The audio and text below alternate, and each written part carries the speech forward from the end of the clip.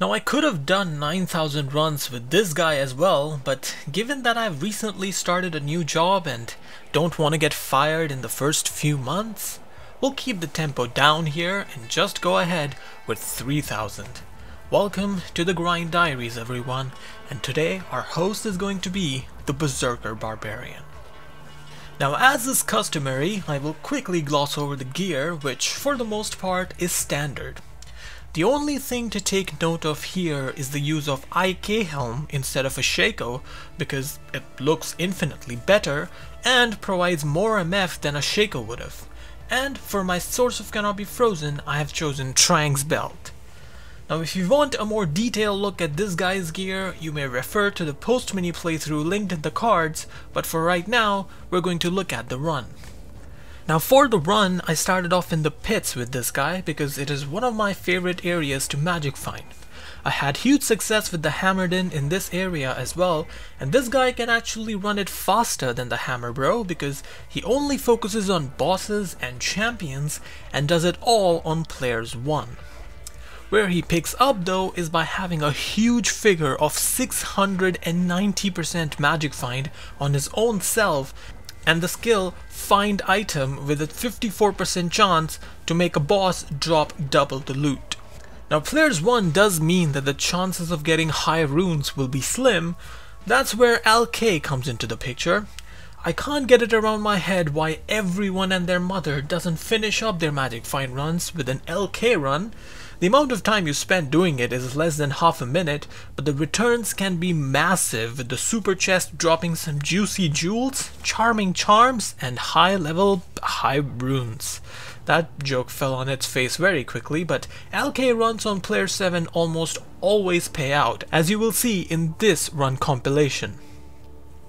Finally, to cap it all off, I finished with a nice quick Pindle run, which again takes like 10 seconds to do, but when your luck is in, Pindle doesn't disappoint because he can drop every item in the game bar Arachnid's Mesh, Azurewrath, and Tyrael's Might. That was a quick rundown of the character. If you want a more in-depth explanation of things, my post-menu playthrough can probably help you best there. For this video, it's time to look at my runs running these three areas 1000 times. Now we're starting off at Pindle of all people on run 7 and we're starting out with me forgetting to press the record button while doing the run. Thankfully the drop was not that crazy anyways. I mean yeah, it is a TC87 but it is quite possibly the worst one, the unique legend spike, Ghost Flame. Things you absolutely don't love to see, get this off my screen immediately and let's move on. Moving on to run 17 where I found a not so rare but much more usable drop of a magical jewel in the pits and it was a ruby jewel with 40% enhanced damage. I've put one of these in my Death Cleavers and the difference is quite noticeable so I am glad to have another one at my disposal for when I find another sick melee weapon which needs a bit of a bump in the ED. After that on run 88 I found a Shadow Discipline Skiller in the pits. If you're binge watching my grind diaries on YouTube, you'll notice that this is kind of my speciality. Dabrowski finds non-stop Jah runes, I find non-stop useless killers, such as this one. Okay, you know what? One guy in my last video quite rightly pointed out that I maybe complain a bit too much in these videos. So you know what? I'm just going to let this one slide. Just like water under the bridge and move on.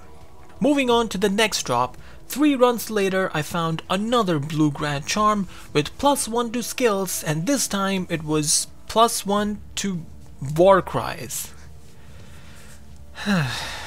Must resist complaints. Not good for viewer retention. Right, moving on. Run 94. This time it was my first drop from LK. That's pretty cool. And it is a magical grand charm, and it is... Okay, but at least you see why I complain so much though, right? You can't even make this stuff up. Right, you know what? For your viewing pleasure and my sanity, I'm not going to show you any more of these. Therefore, the next drop that you'll see is not going to be yet another skiller. You're welcome. Moving on, back in LK at run 119 I found a... Okay, but it's a good one, right?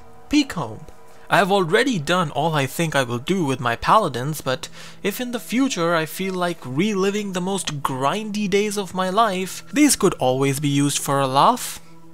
Let's get to some actual drops now, shall we? On run 127 I found a TC-87 from the pits that I hadn't found before, surprisingly, some Ogre Gauntlets which are quite common as far as high level uniques go, Steel Rends. Now not only are these easier to find than a lot of TC-87s, but they are more useful too since they provide a range of stats that look pretty good at first glance. 47% enhanced damage that goes up to 60%, 10% crushing blow, defense, and strength with max rolls of 210 and 20 respectively.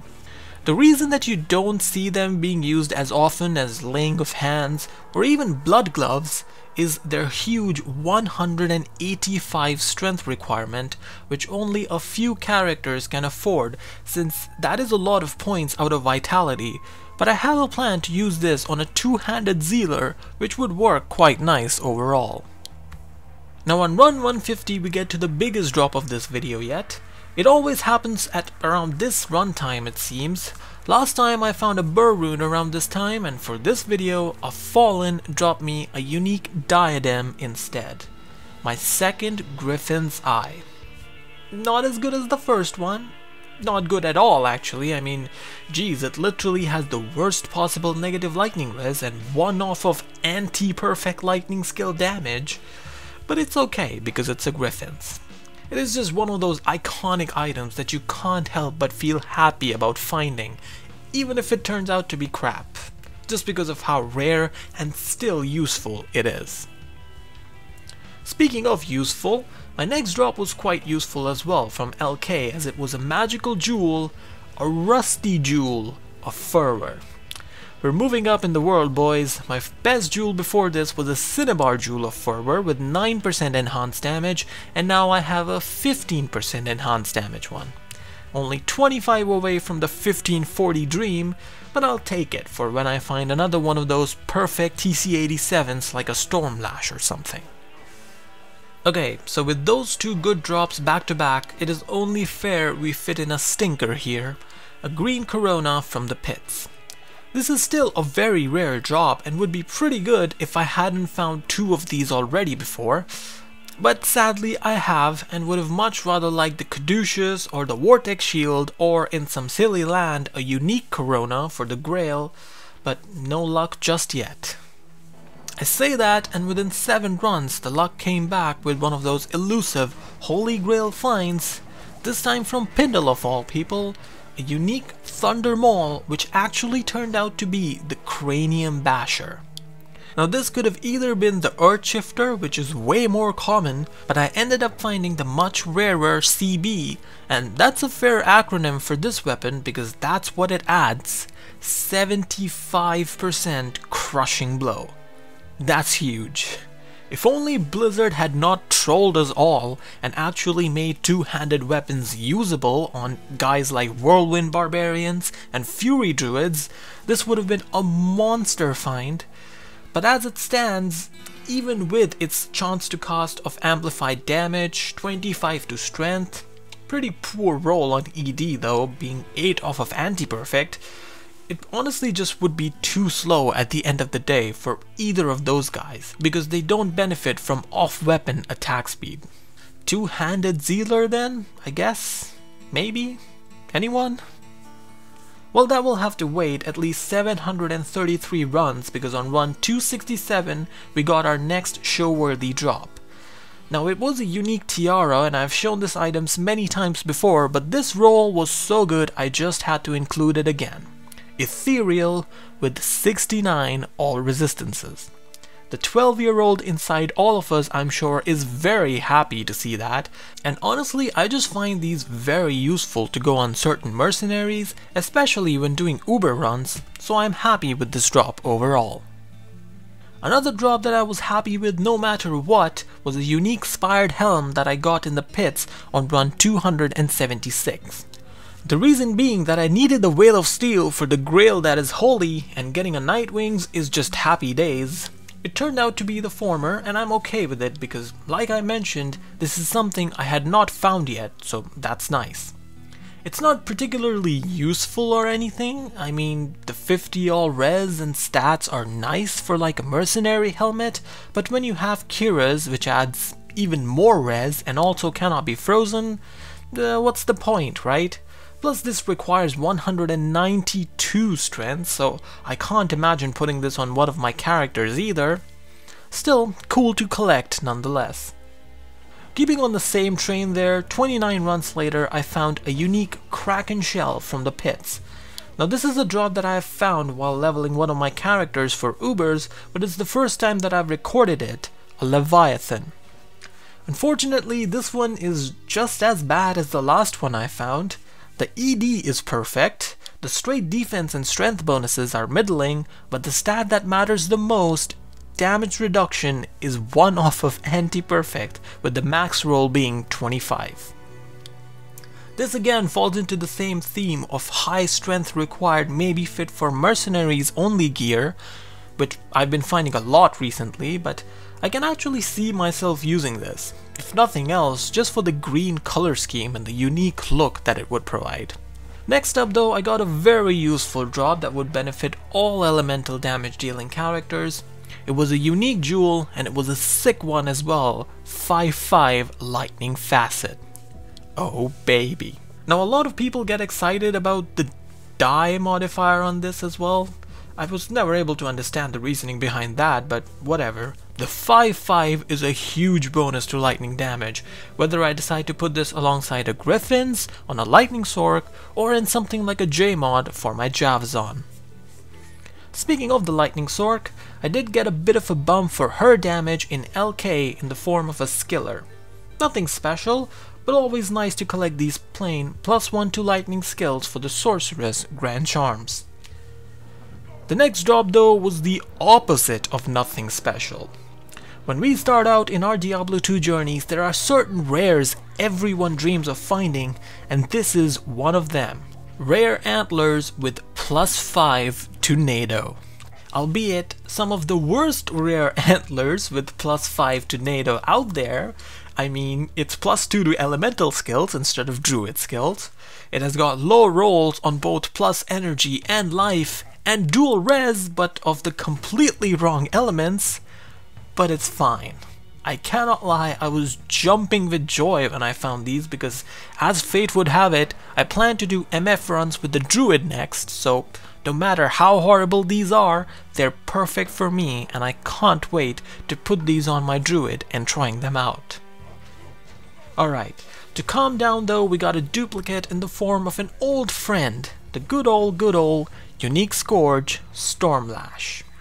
Now that I've found a perfect one of these before, the Unique Scourge doesn't really excite me anymore since I can't really top that now, can I? I mean, I guess I could have gotten an anti-perfect one to complete the collection, which this thing had the potential to be, but I'll still take it. It's still a class drop at the end of the day anyways. The next drop though was glorious! No, I won't give in, I won't give in until I'm victorious. Sorry, that was probably really annoying unless you get the reference, but yeah, the Glorious Axe, Executioner's Justice from Pindle, who is really paying out more than I thought he would. This is the newest addition to the Grail that he has provided me, another TC-87 and another two-handed weapon that is sadly too slow.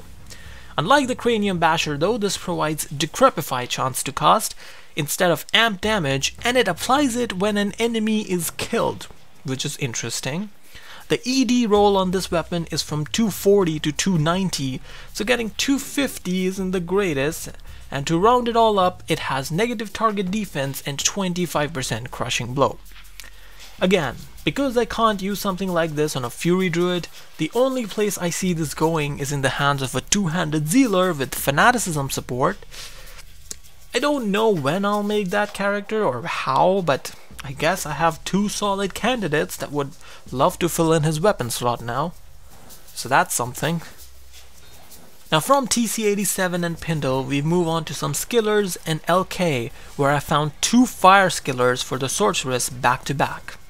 The first one was plain on run 391, but still nice since I am a bit lacking in these, but the next one was nicer, 5 runs down the road with plus 1 to fire skills and 16 to life. Love to see that, especially for someone as frail as the sorceress. Now the next drop came on run 401 and I don't know if you boys would put it in the same echelon as some of the higher level uniques I've found but it is something that I really wanted, a unique mighty scepter which is the Heaven's Light. Now I used this in my recent Uber running video and there I mentioned that I only had one socket on that one. Well, this one solves that problem, since if you just put two Shael runes into this, something like a Smiter will not need any other off-weapon IAS with a maxed out Fanaticism, which is really nice, and allows for more flexibility while choosing gearing options. Next we get to a drop type that you would be quite familiar with if you watched my MF runs, or for that matter, anybody's MF runs, a duplicate TC87 uh, this one always hurts because you know that you could have gotten something equally rare and much more desirable, but instead you got the same ogre gauntlets again, and they're worse enhanced damage wise than your last ones. Scenes we absolutely love to see. Smiley face. Well, duplicate uniques are not always bad, and especially if they're of the jewel variety, like on run 462, where I got another facet, and another amazing one at that. 4-5 called facet. I swear to god, I never find decent facets, so what's happened here is nothing short of a miracle. But I'll take it, because my cold and lightning sorceresses are looking a lot stronger as a result of it. Another way duplicate uniques are not bad is if there's something special, something iconic, something like the second unique diadem of this run project. From the pits, yet again, a 1715 Griffin's Eye.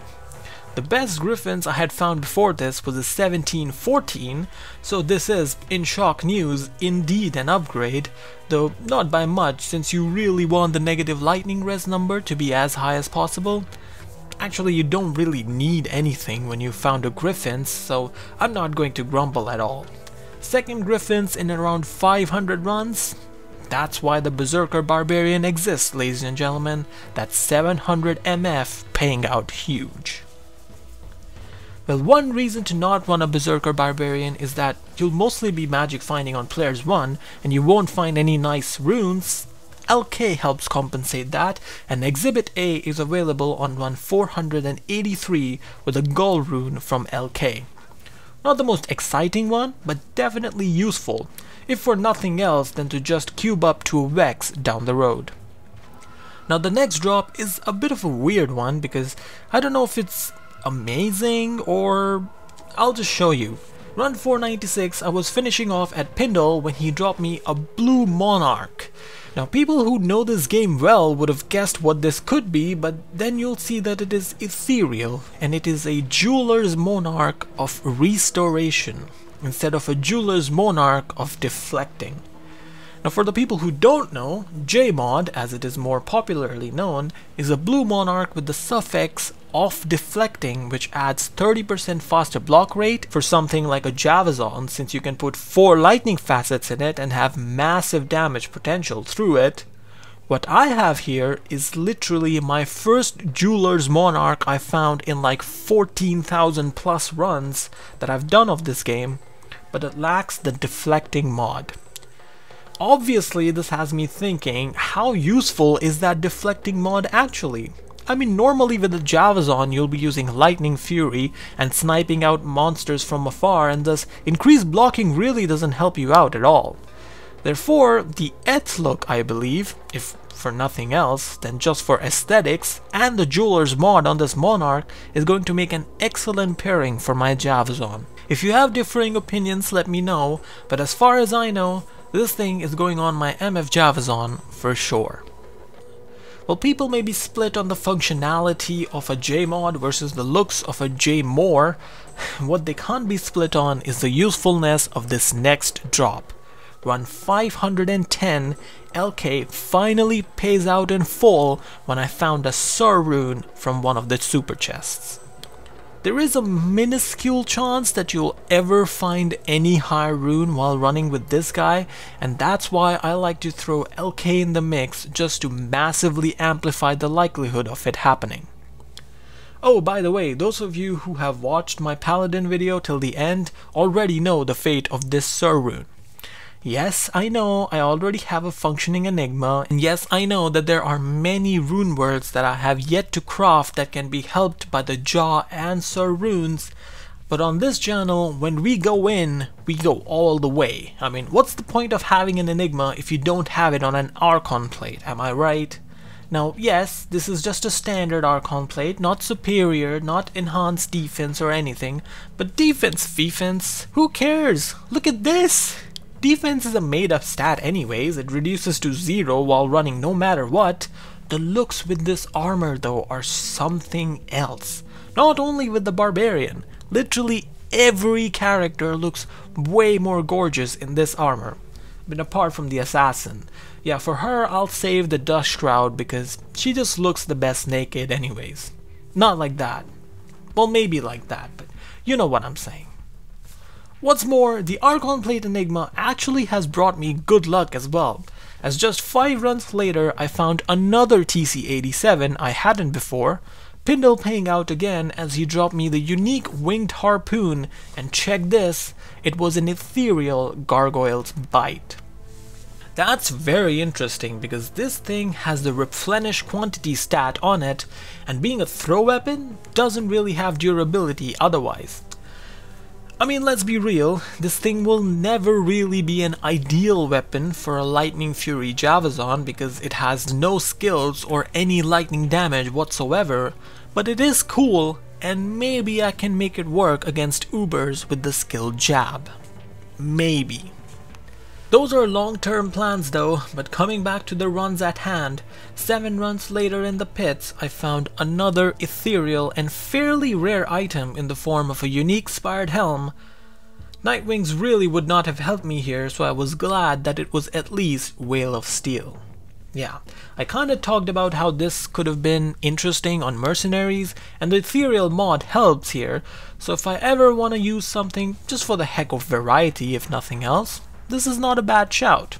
Alternatively, with this stride of finding ethereal rare uniques, I would have rather seen something like ceremonial javelins or scarab shell boots, even an eth unique thresher would have been really nice.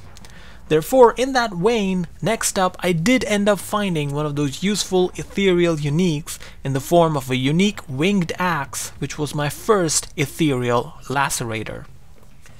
I mean, this thing is great. I got pretty good enhanced damage as well with the roll being from 150 to 210 and the ethereal mod makes it a really solid throw weapon as well as a melee weapon on something like a frenzy barb or your run-of-the-mill Zealer. I've had conversations in my comments about how this can be an effective solution to substitute life tap during Uber runs, and I would love to give it a go sometime soon. Alright, moving on.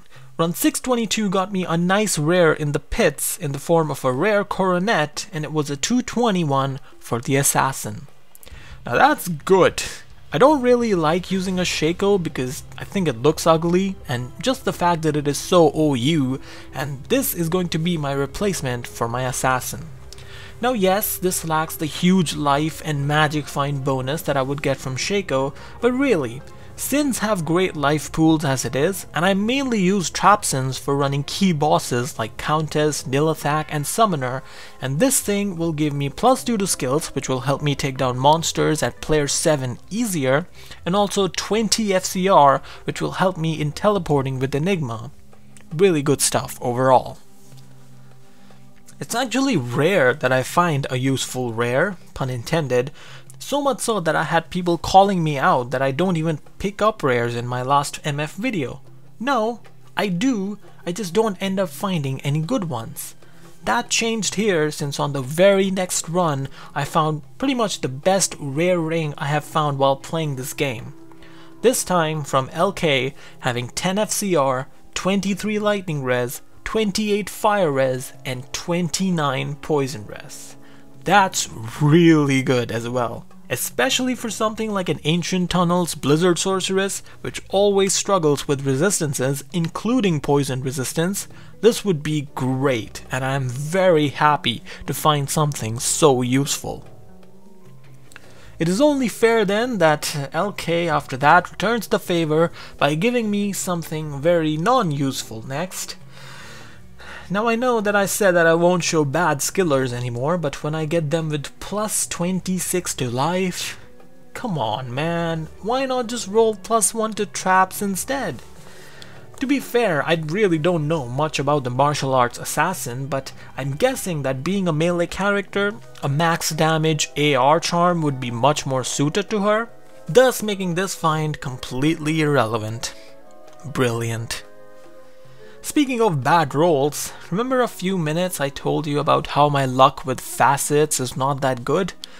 Well, run 790 backs me up on that since I found a 3-3 cold facet in the pits.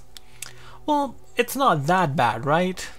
Yeah, well, it is when you look at the facet that I found just before it. Yup, that's what I'm usually getting from these, but it's not the end of the world since they're pretty good for beefing up any elemental characters nonetheless. Now run 795 gave me another unique that I was very happy to find, but maybe it's not the most exciting thing ever. A unique Tyrant Club from the pits, which was the Demon Limb. Those of you who have watched my recent mini playthrough of the Frenzy Barbarian and my Uber runs will know that I had somehow lost my other demon limb and all I had was an ethereal one which I couldn't use the enchant charges from since I couldn't repair them afterwards. This therefore is a big relief to find because those level 23 enchant charges really do add a significant amount of attack rating for melee characters and every bit counts especially when you're going up against the Ubers. Run 808 got me a nice mid rune at LK since it was an Ist rune from the super chest. Again, not the most exciting, but definitely needed, especially after I had exhausted all my previous ones in the 6-socketed phase blade for this Berserker Barbarian.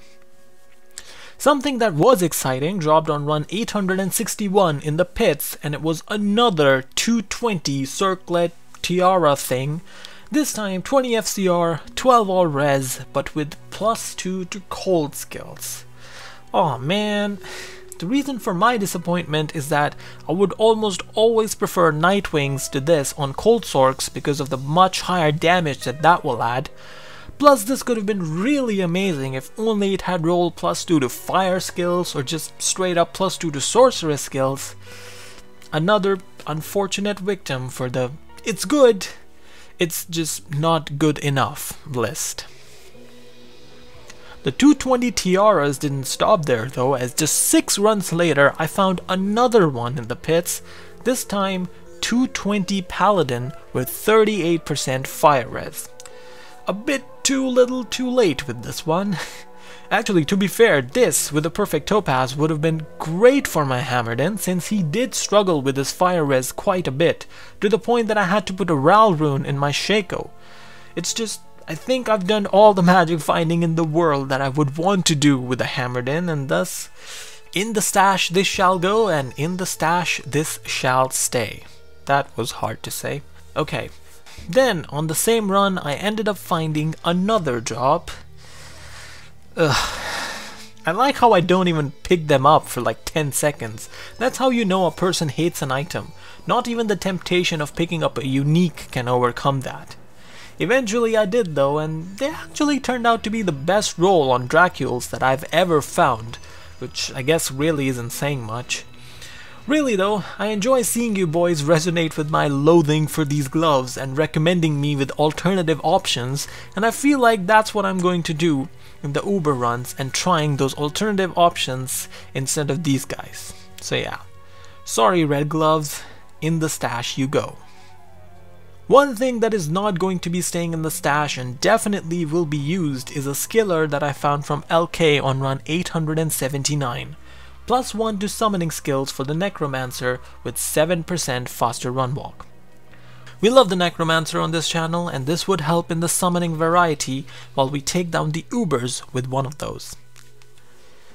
11 runs later, I got another unique Spired Helm, and the Veil of Steel was a good find when I found it for the first time.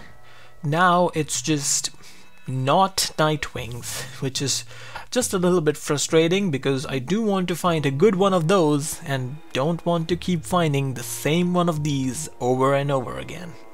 Game, please. Turns out the game actually mistook that last remark because I ended up finding absolutely nothing for the next 100 runs. The luck was completely barren to the point that I had started worrying that I would have to end the video on a duplicate Veil of Steel, which was never nice. That is what it was looking like though. Run 998, found nothing. Run 999, found nothing. Run 1000 in the pits, nothing. Run 1000 in LK, nothing, nothing upon nothing. Until there was only one left.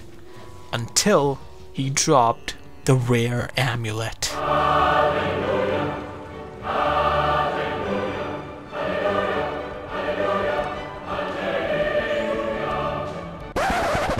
It's not bad, is it? I mean, plus 2 to combat skills is what you want from the paladin tree, right? 57 to life is really good, and I mean, all res, eh, if I found this on a mini playthrough I'd be ecstatic, but uh, yeah. Even if my mind was evil enough to finish the video on this, my heart just won't allow it. I know, right? My videos are a bit longer, and for the boys that stick around till the end, I wanna end it for them with a little something something, you know? So even though my 3000 runs were over, I still went on searching for a big pull. That conquest ended on run 1041. I know you boys are gonna like this one, a unique Colossus blade at the pits. Now again, we used this sword in the Uber runs and absolutely loved it. It is obviously an icon, being the grandfather. Is it the best roll? No, not really, with ED rolling from 150 to 250. This is decidedly below average, but quite like Griffon's, there's just something about the sword that you can't complain about. Thus, with that, ends our 3000 MF run journey with the Berserker Barb. This project now obviously took a lot less time for me to make than my previous one, and I feel like that is something that is sustainable and something I can do throughout the year to come. As far as luck goes, I found plenty of decent TC-87s like I hoped for. Still no sacred armor, but you know, can't complain too much when I've just found two diadems instead, right? LK definitely seemed to give out under average with only one high rune in over a thousand runs, but that's just how RNG be sometimes. Overall, I hope you found this video enjoyable. Yours truly, with love.